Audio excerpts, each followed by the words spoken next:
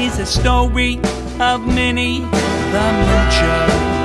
She was a red hot hoochie.